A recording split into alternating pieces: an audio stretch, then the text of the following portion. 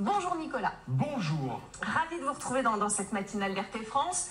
Alors, les, 20 et 28 octobre dernier, un groupe d'eurodéputés a tenu pas moins de deux conférences de presse passé plutôt inaperçu d'ailleurs dans les autres médias. De quoi s'agit-il?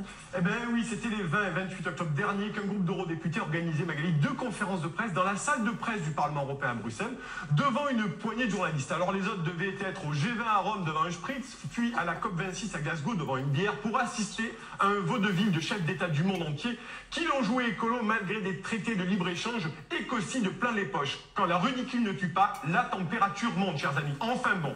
Mais revenons à ces eurodéputés qui ne sont pas venus ces 20 et 28 octobre dernier pour donner leur avis sur la taille des tomates espagnoles, sur le diamètre de la mozzarella italienne, sur la circonférence des pommes de terre néerlandaises. Non, ces six eurodéputés ont tenu deux conférences de presse explosives sur la politique sanitaire et vaccinale de l'Union européenne, dans lesquelles ils ont notamment dénoncé, écoutez bien, la répression de certains États membres envers leur population qui manifestent contre les mesures sanitaires un peu partout en Europe. Il a été aussi question des contrats signés entre l'Union européenne et les labos pharmaceutiques, dont certaines parties ont été biffées en noir. L'allemande Christine Anderson, l'italienne Francesca Donato, le croate Ivan Vilibortinic ou encore le roumain Christian Thérèse sont venus courageusement face caméra pour dénoncer l'obligation vaccinale et l'oppression des peuples pour qu'ils adhèrent de façon contrainte et les yeux fermés aux injonctions gouvernementales. Ces conférences de presse, pour peu qu'on prenne le temps de les écouter, bien entendu, posent des questions fondamentales sur l'avenir de notre démocratie européenne, sur la notion même de citoyen, sur la force déraisonnable auquel certains États ont recours pour maintenir un ordre sanitaire établi, et enfin sur le postulat que les États dits démocratiques ne cherchent pas forcément le bien des populations.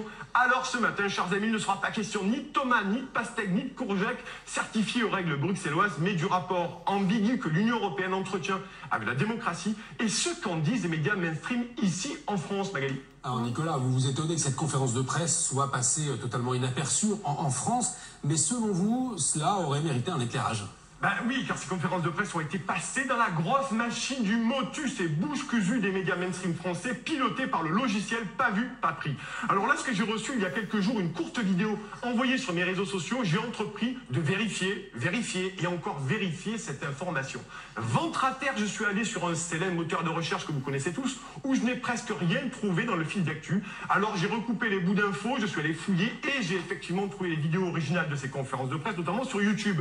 J'ai juste fait mon boulot de journaliste, tout comme d'ailleurs la rédaction de RT France qui a publié un très bon article à ce sujet sur leur site. Et au vu de la teneur des propos tenus par ces quelques députés européens, je n'en reviens toujours pas ce matin de la rachitique couverture de presse pour cet épisode suffisamment important dans l'histoire du Parlement européen. Ces conférences de presse semblent n'avoir jamais existé pour de nombreux médias, ceux-là même, même qui considèrent l'Union européenne comme la Madonnina démocratique à laquelle ils font dévotion matin, midi et soir. Mais heureusement que vous avez une réalité parallèle dans ce babon de contraintes de passe sanitaire et de QR code. Ce sont quoi? Ce sont les réseaux sociaux. Car sous le manteau numérique des réseaux sociaux, ces vidéos sont devenues virales et ont dépassé le million de vues ces dernières heures sans aucun appui médiatique. Alors il se pose une nouvelle fois la question fondamentale du rôle de la presse et de cette façon de pas trop insister sur la mascarade démocratique de ce joyeux enclos cadenassé qu'est l'Union européenne. Alors comment expliquez-vous, Nicolas, ce, silence médiatique?